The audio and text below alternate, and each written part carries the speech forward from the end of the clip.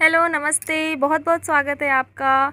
और फ्रेंड्स, ये जो प्लांट है, ये प्लूमेरिया का है और ये मेरा कटिंग से लगाया हुआ पौधा है। अगर आपने मेरे प्रीवियस वीडियो में देखा होगा कि कैसे मैंने इसकी कटिंग लगाई थी तो देखिए, अब इसमें बडिंग भी स्टार्ट हो गई है और लीव्स भी आ गई हैं।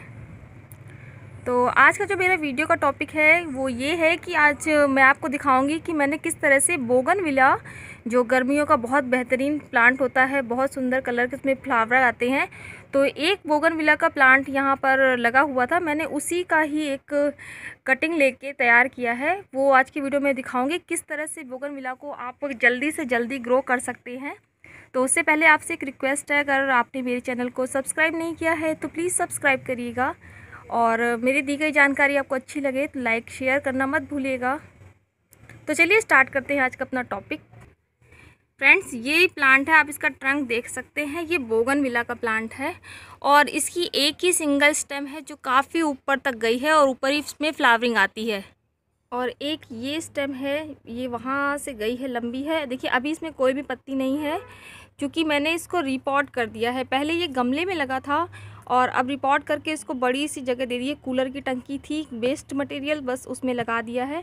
और इसकी जो पत्तियाँ थी रिपोर्टिंग में इनको थोड़ा सैड हो जाते हैं ना प्लांट वगैरह भी तो सारी पत्तियाँ इसकी झड़ गई। तो चलिए इसको किस तरह से मैंने कटिंग के थ्रू ग्रो किया है, आपको दिखाती हूँ। तो फ्रेंड्स आप देख सकते हैं, ये बोगनविला का प्लांट पहले इस मट्टी के गमले में लगा हुआ था। और इस मट्टी के गमले में काफ़ी सालों से ये प्लांट लगा हुआ है। और कूलर की टंकी में पहले सरसों उगी थी। तो देखिए, निकालते हैं अपनी कटिंग और हमें कटिंग किस तरह से लेनी है वो पहले बता दूँ। देखिए, पेंसिल की मोटाई की कटिंग हो और ना ज़्यादा हार्ड वुड लेनी है, ना ही ज़्यादा सॉफ्ट वुड।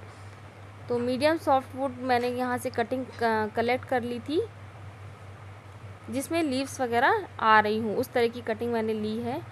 तो देखिए, ये दो कटिंग मैंने ले ली है। अब इस कटिंग में हमको एक तिरछा कट देना है। तिरछा कट अगर आप देते हैं तो आपकी जो कटिंग वगैरह होती ना, वो जल्दी से, आसानी से उग जाती है। तो ये देखिए, इसको मैं इस तरह से मैंने तिरछा कर कर लिया है।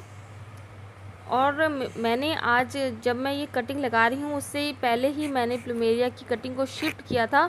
और आपने अगर वीडियो देखा होगा तो ये प्लूमेरिया भी मैंने इसी डब्बे में ग्रो किया था।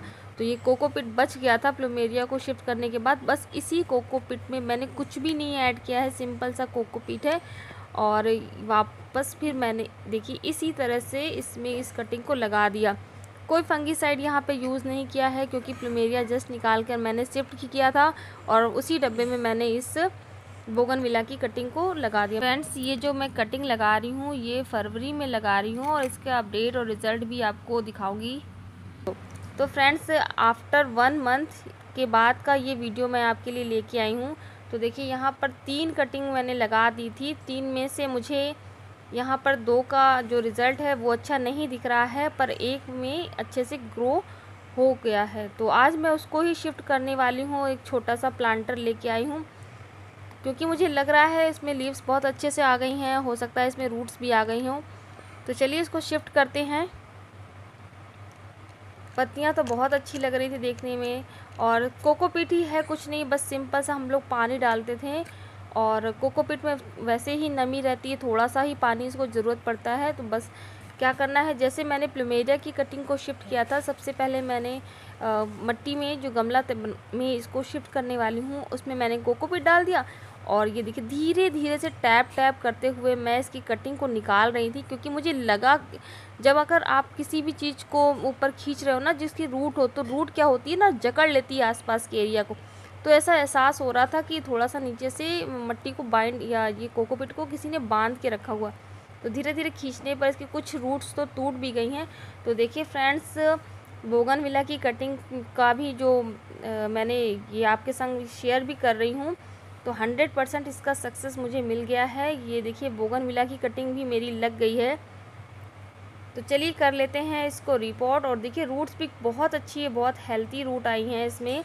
तो आप अगर कोई भी को, कटिंग वगैरह ट्राई कर रहे हैं तो इस तरह से ट्राई कर सकते हैं। इसका रिज़ल्ट भी बहुत अच्छा आता है। आपने खुद मेरे वीडियो में देखा होगा मेरी ये दूसरी कटिंग है जो मैं आज आपके संग शेयर कर रही हूँ। प्लूमेरिया के बाद तो क्या करना है? इसमें जब मैं कटिंग लगा देती हूँ कटिंग जब मेरी तैयार हो जाती है तो मैं डिब्बे में पहले सबसे पहले मट्टी डालती हूँ फिर उसके बाद कोकोपीट देन इसको मैं अभी कोकोपीट में ही रखूँगी। और कोकोपीट डालने के बाद फिर मैं वापस से मट्टी डाल दूँगी। तो देखिए, इसमें मुझे कोई भी रूट नहीं दिख रही है सेकंड वाली कटिंग में। तो वापस मैं इसको डाल देती हूँ और अगर रूट वगैरह आनी होगी तो आ जाएँगी, नहीं तो फिर मेरा एक प्लांट तो तैयार हो गया। तो फ्रेंड्स, ये सिंपल सा टेक्निक है। अगर आप कोई भी कटिंग लगाना चाहते हैं तो बहुत आसानी से लग जाएगी। बस आपको धैर्य रखना है, क्योंकि कोई भी चीज़ ना एक दिन में तो तैयार होती नहीं है। अगर आप कोई भी बीज भी लगा रहे हैं तो बीज से अगर फल लेना है तो बहुत बहुत लंबा प्रोसेस होता है। तो कटिंग लगाने के बाद आपको धैर्य रखना पड़ेगा। धैर्य ज़रूर रखिए। कटिंग आपकी हंड्रेड परसेंट लग जाएगी इस तरीके से। तो बस कटिंग लगाने के बाद पानी डाल देंगे और तो तैयार हो गया है एक मेरा कटिंग से एक बोगनविला का प्लांट आई होप आपको वीडियो अच्छा लगा होगा। तो अगर अच्छा लगा प्लीज़ लाइक करिएगा। मेरे चैनल पर नए हैं तो सब्सक्राइब करना मत भूलिएगा।